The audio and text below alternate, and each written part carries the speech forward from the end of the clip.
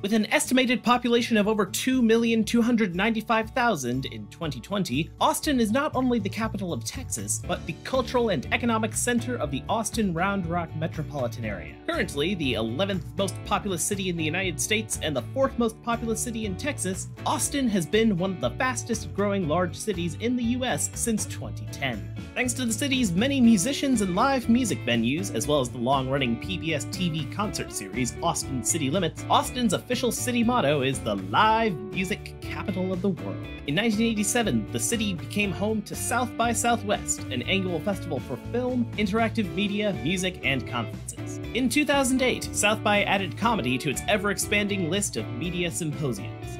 Though originally held for only one night, comedy performances have since 2012 occurred on all nights of the festival. In 2011, the Paramount and Stateside Theaters, in conjunction with the Cap City Comedy Club, kicked off the annual Moontower Comedy Festival. And in 2022, Moontower established a partnership with Canada's Just for Laughs. The history of comedy in Austin is still being written. In 2020, podcast host and sometime comedian Joe Rogan relocated his media presence to Austin. In his wake came some of the genre's biggest names who decided to leave Los Angeles and New York for comedy and entertainment's new third coast. During the pandemic, Rebecca Trent, owner and operator of New York's The Creek and the Cave, closed up shop in the Big Apple and relocated to downtown Austin. During South by 2023, Joe Rogan opened his comedy mothership in the historic Ritz Theater on 320 East 6th Street. The city's unofficial local motto, Keep Austin Weird, has been featured on everything from bumper stickers to t shirts. It promotes Austin's eccentricity and diversity, and bolsters support of local independent businesses. With all the comedy business at hand, the time is ripe to keep Austin funny. The oldest joke on record came from a Sumerian cuneiform tablet from around 3100 to 2900 BCE. The apparently timeless joke was, of course, about passing gas, intimate relations, and marriage. The history of comedy in the modern era in Austin begins with vaudeville. Vaudeville was conceived from a variety of popular forms of entertainment, including the concert saloon, minstrel shows, circus freak shows, and American burlesque. I love the vaudeville era. It was um, the one of the premier places where uh, comedy was performed, other than silent film comedy. But vaudeville was a marvelous live medium of perform of variety performance in uh, theaters large and small, in major cities and smaller towns. Um, comedy was one of its uh, largest and most successful forms. Um, uh, the great thing about vaudeville is you had room to fail you developed a perfect and perfected a 15 to 16 minute act, whether you had a performing dogs or a, a, brief dramatic skit, sang a couple of songs, or danced a little bit, or all of them together. Comedians were the backbone of vaudeville. Comedians were the glue that held vaudeville together. Um, the variety was so extreme. It was like everything all the time. As I said, animal acts, singers, dancers.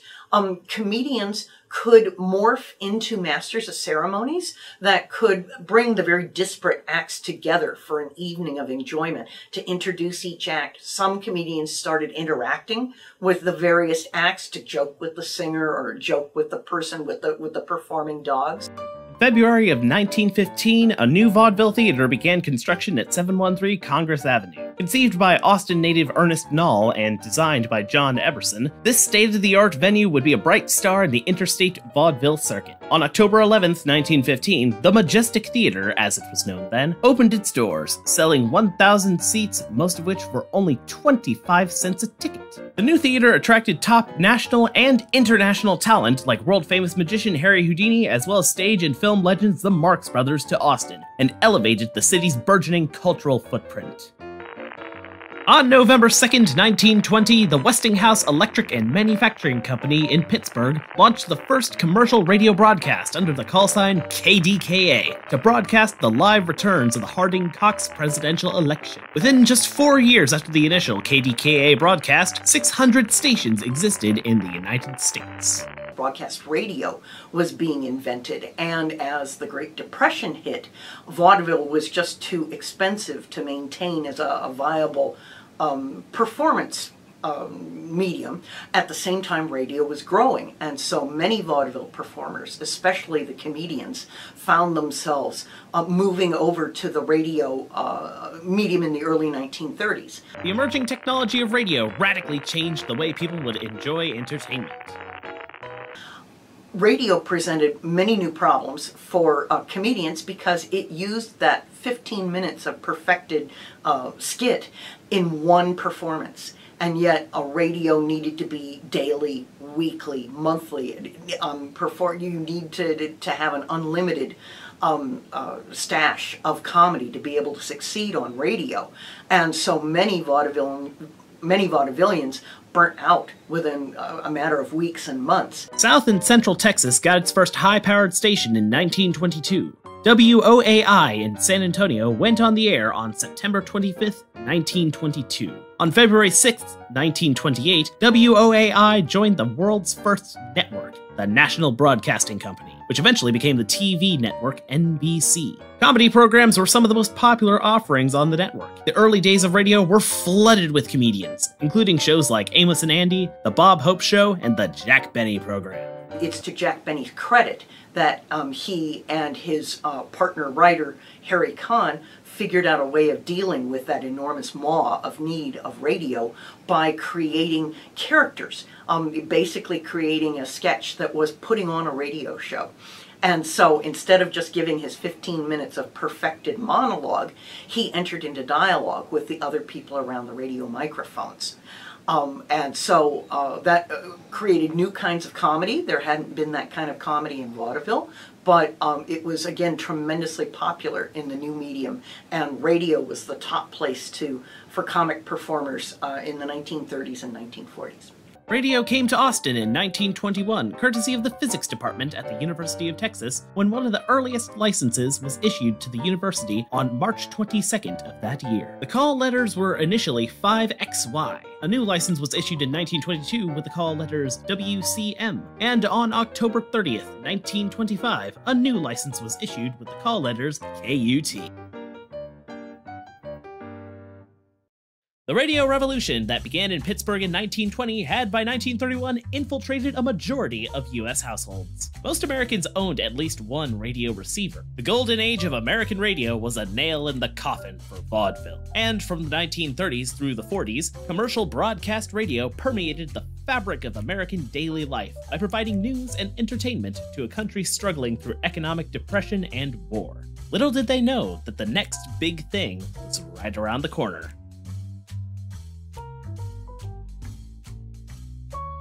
Radio had a huge problem in that um, it was so its sponsors kept it so conservative that the major radio performers most of them had been on the air 20 years. It was nearly impossible for new talent to break into the world of broadcast radio. The first tv station in austin was ktbc which aired its first broadcast on thursday november 27 1952 the first television station in Austin and Central Texas was originally housed in a small studio in the Driscoll Hotel. The station was originally owned by the Texas Broadcasting Company and then by future US President Lyndon B. Johnson and his wife Lady Bird. KTBC carried all major networks at the time ABC, CBS, and NBC. However, it was a primary CBS affiliate. It carried roughly 65% of CBS's schedule, while NBC and ABC split the remaining coverage in half. So um, then when television comes along, starting in the late 40s into the early 50s, um, television programmers claimed to want a different kind of comedy. Radio comedy they thought was kind of slow and kind of soft. What they wanted in television comedy was something more like Sid Caesar or Martin and Lewis. They want Milton Berle. They wanted loud, fast, jump up and down kind of slapstick comedy um, to go with those tiny television screens it was difficult for a number of radio um, comedians to make that switch. Um, but early television, being um, based in New York City, with the small screens and uh, was a terrific space for those club comedians, for the Catskills comedians, for New York-based comedians, because most of um, stable radio comedy had moved out to the West Coast, was Hollywood-based. So with early television um, uh, centering in New York, it allowed um, that a new generation of comedians to come up uh, because they weren't the old-fashioned radio comedians. So there was this spark of newness. Progress spurs change. By 1955, a majority of US households owned at least one television set. The kids that grew up with radio wanted a bit more edge to their TV. Teenagers and college students in the late 50s and early 60s craved programming that pushed the limits of what their parents considered acceptable family entertainment. Different media had different standards and different rules and different kinds of censorship. Um, uh, radio was highly censored because of its sponsors, didn't want to uh, have anything negative in any way, anything controversial as, uh, associated with the uh, advertisements for their products. Television, too, um, uh, on the one hand, it had the sort of New York chic liveness to it, but it was also tremendously censored and comedians who had come up in, in private clubs in in um, um, Harlem and um, you know sort of New York nightlife where um, it was cool to be edgy, where to be different you could speak about sort of verboten topics and things that were were different from uh, uh, broadcasting. Uh, indeed did have to have a number of different acts. New technology often comes with the same old problems.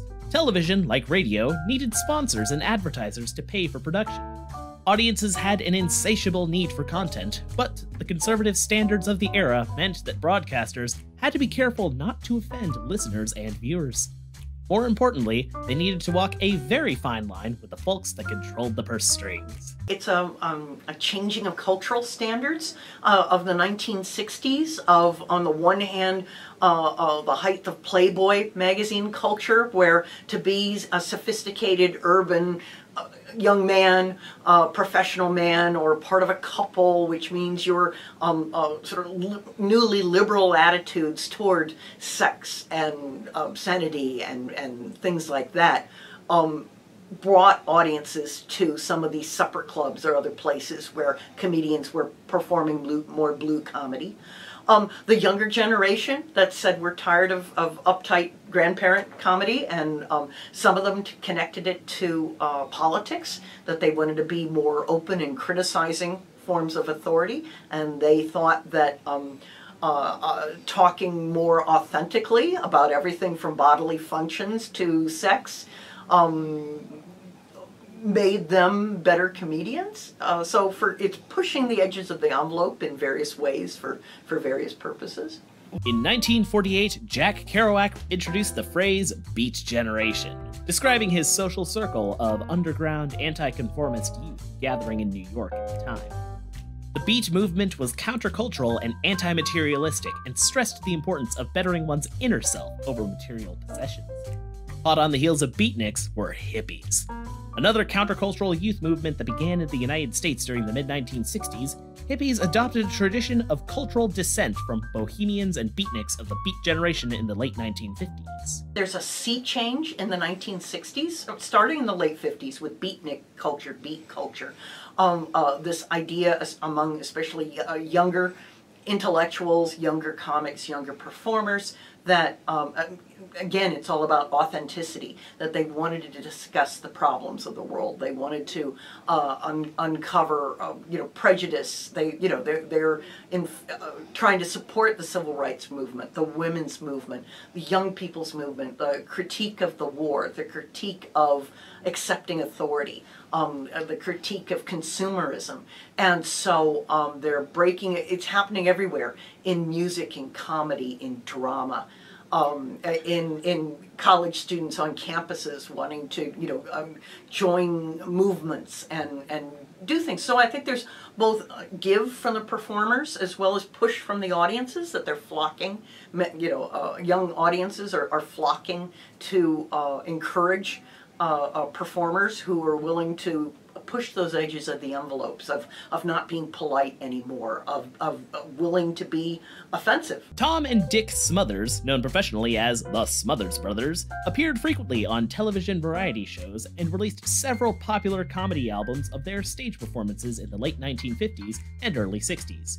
Their television variety show, The Smothers Brothers Comedy Hour, became one of the most controversial American TV programs of the Vietnam War era. There's a marvelous documentary about the Smothers Brothers, how that sort of I that I absolutely love about how they were just you know, little folk singers, but they became more woke, if you will, about um, unhappy to see how the administration was continuing to uh, enlarge the scope of the conflict in Vietnam, and so they're trying in their in sort of a quiet way, they're, they're you know uh, to to criticize it, and they're increasingly getting more and more and more pushback from their network, CBS. In a way, they get forced off the air by like 1968-69, but then Laugh-In comes in just a year later and can make all the same Nixon and war jokes and be celebrated. So it's a it's a mixed up time of, of some people able to push their voices out further, others very unjustly bearing the brunt of, of censorship, like Lenny Bruce over and over and over again. Um, so it, it's um, a time of, uh, of, of many different voices trying to talk about change in the world, um, and hooray that comedy was among them. The restrictive nature of television gave rise to comedy clubs nationwide. Comedians like George Carlin and Richard Pryor played it safe on The Tonight Show with Johnny Carson and let it rip on stages all around the country. The clubs I think of as being based more on the coast and in Chicago and maybe in Florida. So where where you know the kind of madmen you know, admin, the, the, the tired business guy in a business suit in what we would consider today the blue states were the homes of some of the first comedy clubs. Um, there was another sort of ring of clubs, uh, of, of performance spaces that were college based. So um, Bob Newhart did sort of more college tours uh, whereas so the, some of the Lenny Bruce's and, and some of the um, comics who appeared on, say, Ed Sullivan, a great way to break into mainstream media, or then like the Johnny Carson show. Um, then you know you were uh, moving from the clubs to get a, um, a, a, spot on one of those shows. Back in the day, many comics then wanted to get a TV deal. Oh, can I be on a situation comedy or something like that? Cable television began in the United States as a commercial business in 1950.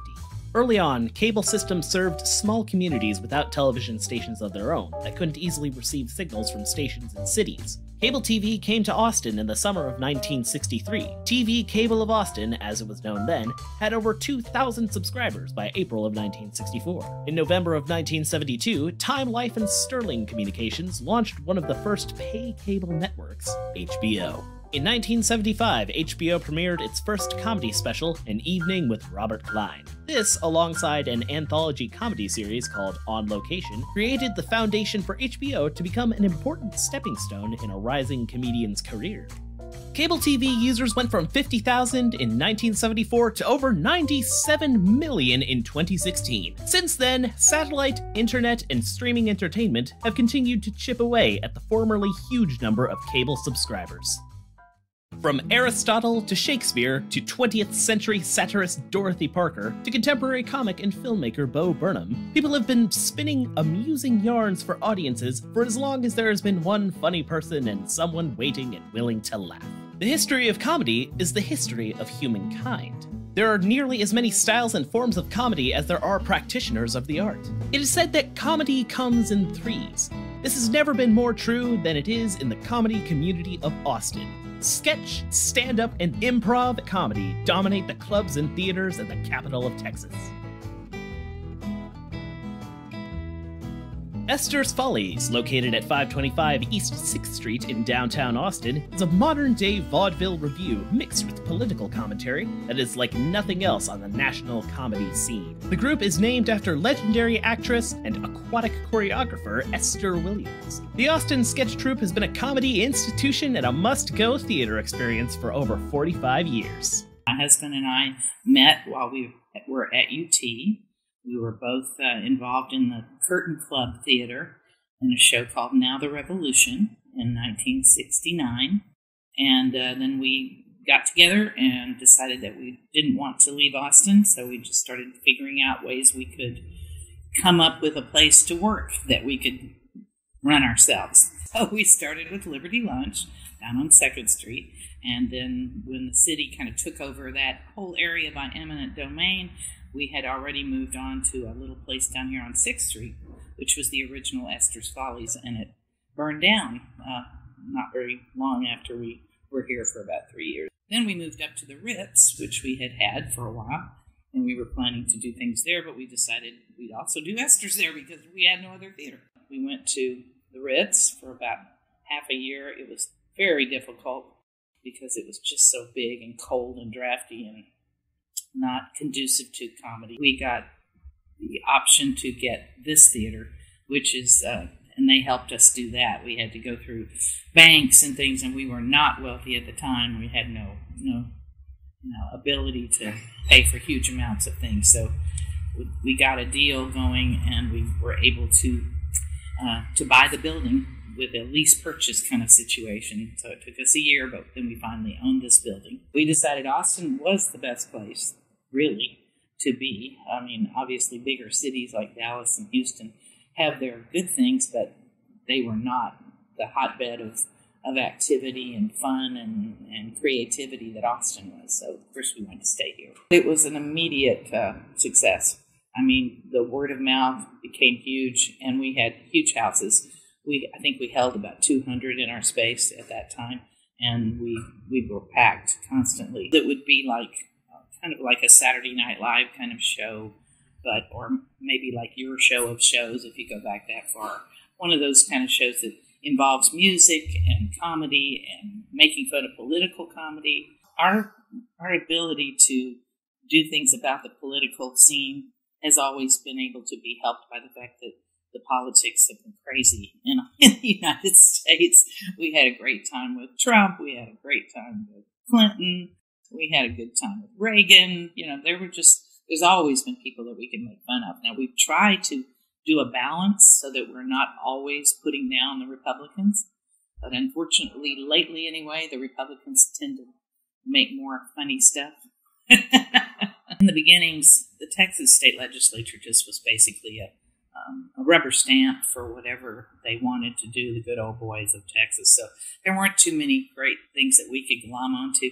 We've always aimed towards uh, a national audience. When Ann Richards was running for governor, we were approached by uh, Liz Carpenter to get on a bus and go walk, go around to little towns in Texas and um, and do a little spiel for Ann. So my piano lady at the time, Leova Rosenoff, and I got on these buses and went to, you know, all every little small town and pulled up in their in their central square and and uh, and sang about three songs, and then somebody spoke, usually Ann's mother or father or somebody like that. And one time when we went to uh, uh, College Station, it was uh, it was Carol Channing who showed up and sang "Diamonds Are a Girl's Best Friend" and handed out little fake diamonds and things like that. So it was a lot of fun. Well, I'd say the most most important thing that Austin has is an incredible audience. They are just so giving, and I mean, literally, you'll get standing ovations where you would never do that anywhere else. It's just they're very giving. They're very uh, ready to be laughing at themselves. They don't mind laughing at others too, but they'll laugh at themselves. At least that was the case prior to Trump. Unfortunately, we've had some pretty angry people. We have pretty much feel we feel safe to the extent that uh, we don't think that we'll ever have somebody come in and shoot us or anything like that. Although Sixth Street has certainly had some shootings, but it's mostly at 3 a.m. Comedy has been a big part of Austin since when we got here in 77 and then many other improv troupes and um, and stand up clubs have done well. Cap City, of course, has been doing well and is coming back. They've got a new space that's out in the domain, which is perfect because it's a whole world of people, you know, college age and just beyond college age that all work out there. And of course, they love to laugh too. So Originally launched as the Laugh Stop in 1986, located at 8120 Research Boulevard, the Capital City Comedy Club served as a second home to legendary groundbreaking Texas comics Bill Hicks and Ron White. Cap City is a key sponsor of the Moontower Comedy Festival and home to the Funniest Person in Austin contest, now in its 38th year.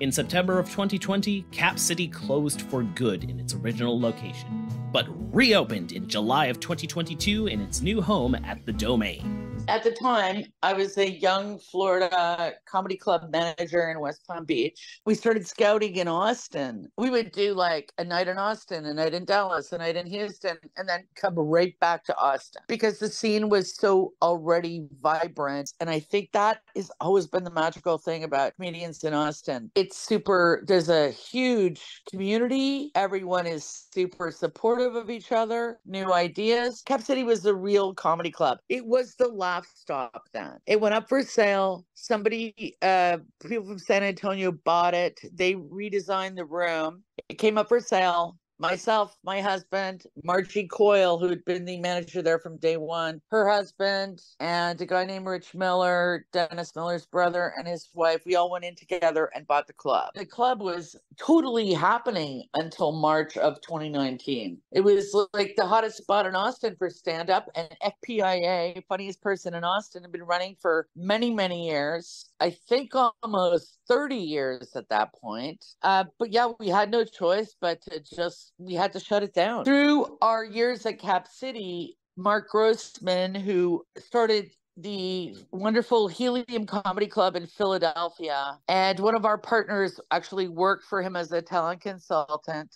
So we all kind of got into business together. Everyone wanted to get out. Marc was the one who came forward to say, like, let's reopen CAP in Austin, but in a different location, like out of that uh, plaza that it was in. The domain was really young when we were, you know, the domain has grown tremendously. Marc is the one who spearheaded it. One of the, you know, the, the mainstay of Cap City was growing local comics. We had a policy that we would mostly, unless it was really enforced on us, the headliners that came in had to use local comedians to open and feature. Growing local talent talent was always in our DNA. Like we, that was like a main thing. It's because also the audiences in Austin really support their local people. Every single comic wants to play Austin. Ron White, I mean, it's like he's a Texas guy, mostly Dallas, but lives in Austin and has had some of his most memorable shows in Austin. I actually, in his last year of life, managed Bill Hicks, and he was a very, very good friend of mine. And Austin was always his favorite stuff to try out material as he traveled the world. Yeah, Austin was like his second home. He lived in New York and LA, but Austin is always where he most preferred doing comedy. For comedy, and this is what I've always loved about it, there is something for everyone. You don't like this week's act, you love next week's act that we're bringing in or or presenting comedy is a wonderful unifying thing. The simplest rules of improv include saying yes and, always adding new information, don't block someone else, avoid asking questions, and playing in the present by using the moment.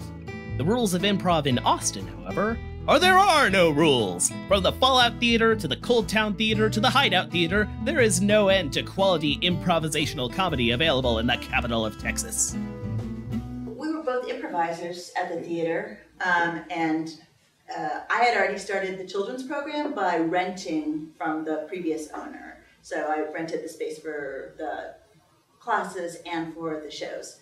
Um, and then uh, I heard that they were interested in taking over, or I heard that Roy was interested in taking over the theater, and I was like, I would also be interested in that. That sounds good. And um, and then I found out that Kareem was involved, and I was like, okay, sounds good. uh, and we all met at a Mediterranean food place, I believe. Yeah, and uh, and decided that it would be it would be good. Yeah, and it was nice because I had already kind of started the children's program on a very minor level, and of course having full access to the place rather than renting it uh, gave me the ability to really expand it, which was great. At the time, I mean, we knew Jessica from performing a little bit with her, but we weren't, we weren't super close. Um, and you know, she had this plan and was already putting into action a youth program. We're like, well, that'd be good to have at the theater. That makes sense. And neither, uh, neither I nor the other owner really had any any experience with with running that or teaching kids uh, at that point. So it was like, well, it was a good, it was a perfect fit, just from a pure business perspective.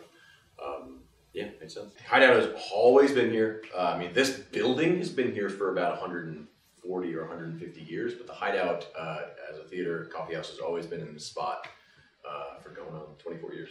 So, so this building predates the, the Paramount, oddly enough. Not as a theater, but the building itself has been here for at least 140 years. The hideout is not run specifically to make a lot of profit. um, that was like one of the things that we agreed on when we got together was that profit is not maybe our number one consideration. So for me, I really like it when it's just normal business.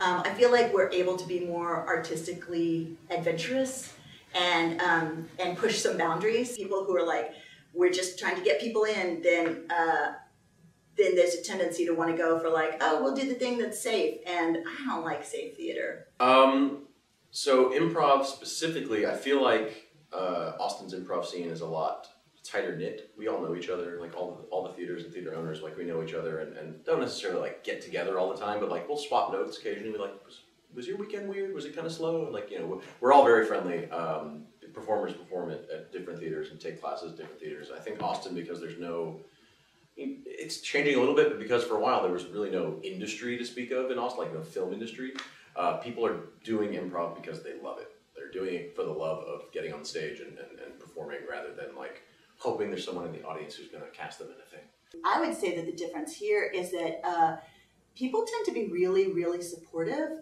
And I don't know if you've done a lot of theater in other places or any place, but there's kind of this like intensity about it, and everybody's like, really, really driven and and everything is the most. You would say drama people tend to be a little dramatic sometimes, um, but I would say here in Austin, people are. Um, it's not that there's not driven; it's that that there's also this layer of uh, and quality of kindness uh, with it that I found, and I feel like in Austin, people are generous to each other um, in ways that are really nice. But there's sort of a quality here that it's interwoven together. Um, whereas maybe in some places people are sort of nice in spite of you know the the traditions or or the way that you have to be in order to get ahead in comedy. Whereas here in Austin, it feels like it's all interwoven and and being successful. Part of being successful is um, being supportive of the community that's around you.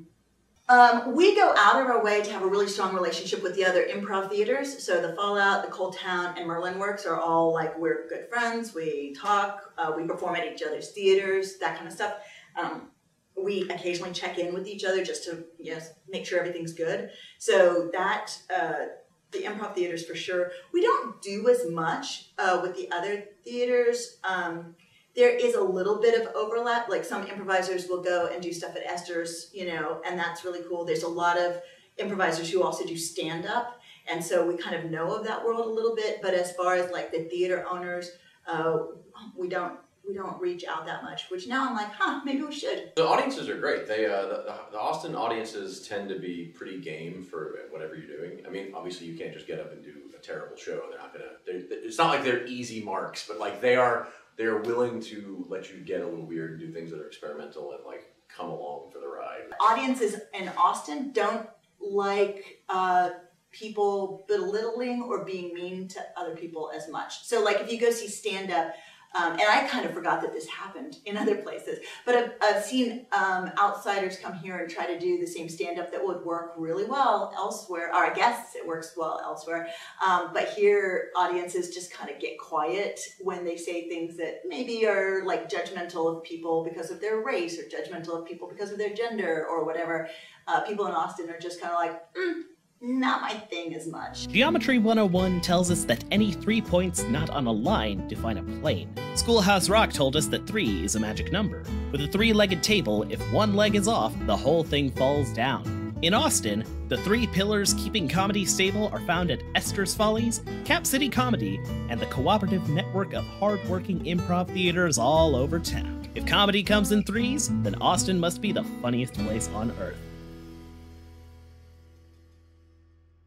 In Austin, it's remarkably easy to make a bad habit out of having good fun. As Austin takes its place among the world's leading cities, its cultural and entertainment footprint continues to grow. A city where the only thing that never changes is how much the city is always changing. The US Census Bureau ranks Austin first among the 50 largest US metros based on net migration as a percent of the total population in 2020. Austin is already well known for its many entertainment festivals, from the ACL Music Festival to the ATX Television Festival, and from the South by Southwest Music, Film, and Interactive Media Conference to the Austin Film Festival. As an up and coming powerhouse for new and veteran comedy performers, Austin brings the heat to comedy festivals. Established in 2012 in conjunction with the Cap City Comedy Club, the Moontower Comedy Festival is still going strong. The Austin Theater Alliance created and launched this nationally recognized annual comedy festival with headliners Wanda Sykes, Steven Wright, Seth Meyers, Nick Offerman, Aziz Ansari, Marc Maron, and many, many others. What once began as a four day event has now grown into a 10 day event across multiple venues in Austin. In 2008, a comedy element was added to South by Southwest, only held for one night. By 2012, comedy performances occurred on all nights of the festival. With an established history of featuring seasoned veterans and fresh faced challengers to the throne, the South by Southwest Comedy Festival brings the next wave of trend setting comedic talent to the entertainment industry and creative community deep in the heart of Texas. In 2021, Montreal's Just for Laughs organization teamed up with the Paramount to reimagine the Moontower Comedy Festival as Moontower Just for Laughs Austin.